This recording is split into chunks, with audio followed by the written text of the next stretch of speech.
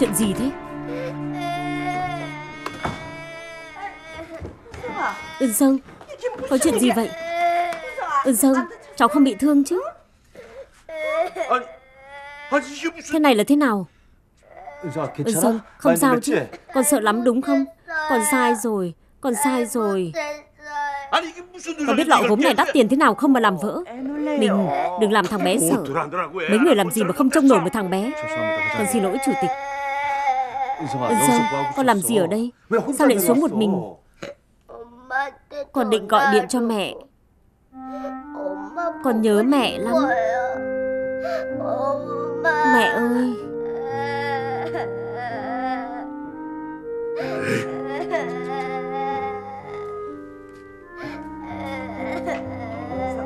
Sơn à Thì ra là vậy. Thôi nín đi. Dạ. Mẹ đã bảo con để ý thằng bé rồi cơ mà. Con xin lỗi mẹ. Ơn Sơn, Đừng khóc nữa. Bà Ừ Bố, Con nhớ mẹ lắm.